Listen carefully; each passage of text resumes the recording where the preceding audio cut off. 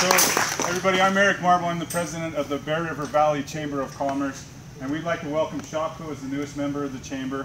Um, every dollar that's spent in the local community turns over anywhere from three to seven times in the form of wages, uh, increased revenue, um, and uh, salaries and everything like that.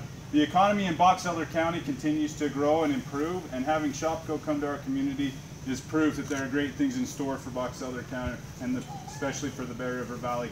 So we want to say thank you to Shopko, and welcome to the community, and also to the Bear River Valley Chamber of Commerce. Thank you.